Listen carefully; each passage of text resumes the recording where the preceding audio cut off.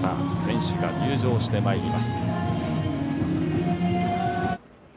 さあ今笛が鳴ってキックオフ。さあガイナーレ鳥取がまず FC 岐阜陣内へボールを供給します。右にはたいてさあクロスを上げられるか。ただ選手の剥がりがもう一つか。かわして右足シュートはゴー!先制点はガイナーレ。鳥取が決めます。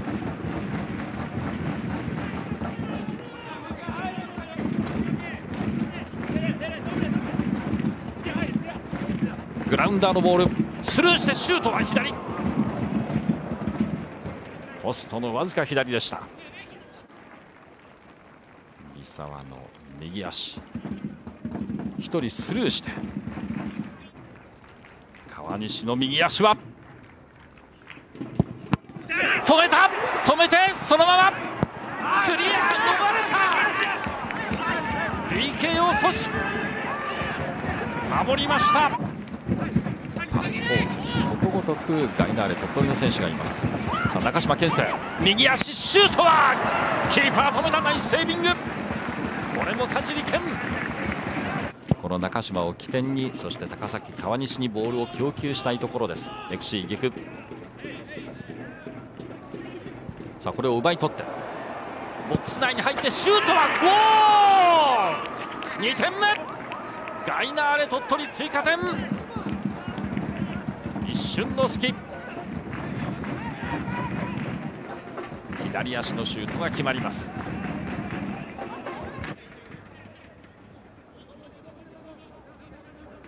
ガイナーレ鳥取。さあ右のサイドから。中にクロス入れてシュートはストに当たるさあ浮いてまだ打てまだ打てるか。今のシュートのシーンです。中に入れてダイレクト。ボレーで行きましたけれどもこれはポスト。レウ。外に出して藤谷が軽く浮かしてクロスを上げる。ヘッドで落とす。振り向きはシュートは打てない。もう一度キーパーパンチング。ここもしのいだ。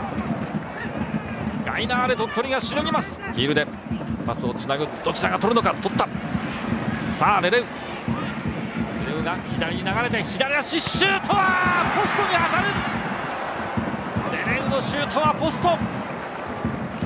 50に伸ばすとさらに昇格圏内の2位。まだ残り3試合というところになりますがホイッスル。試合終了。4位の FC 岐阜敗れました。